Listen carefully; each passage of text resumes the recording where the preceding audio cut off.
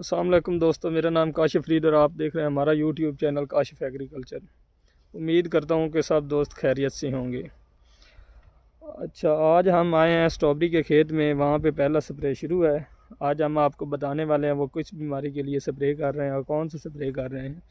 उससे पहले अगर आपने हमारे चैनल को सब्सक्राइब नहीं किया तो सब्सक्राइब कर दें और बेल के निशान को दबा दें ताकि हमारी हर नई आने वाली वीडियो आप तक पहुँच सके। अच्छा अब हम आपको बताते हैं वो कौन सा स्प्रे है जो आज वो कर रहे हैं और किस लिए कर रहे हैं।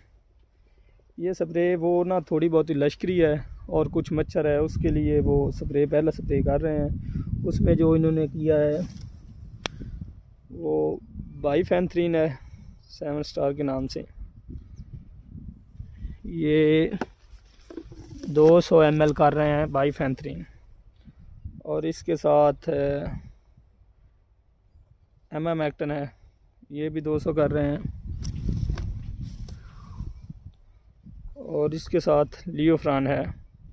ये भी 200 कर रहे हैं। ये मिलाकर तीनों स्प्रे मिलाकर कर रहे हैं जो कि लश्करी और मच्छर के लिए इस्तेमाल किए जा, जा रहे हैं। अब स्ट्रॉबेरी पे वो वो देखें वो भाई स्प्रे कर रहा है।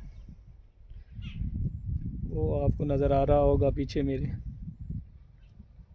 और माशाल्लाह जो बाकी फ़सल खड़ी है, वो स्ट्रॉबेरी बहुत अच्छी है।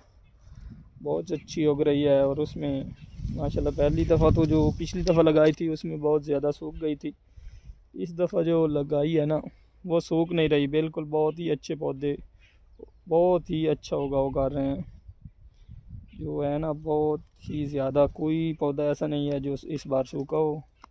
पिछली बार तो पता नहीं गर्मी की मसला था या जो भी मसला था इस वजह से वो सूख रही थी। लेकिन इस बार माशाल्लाह बहुत ही अच्छी खड़ी है।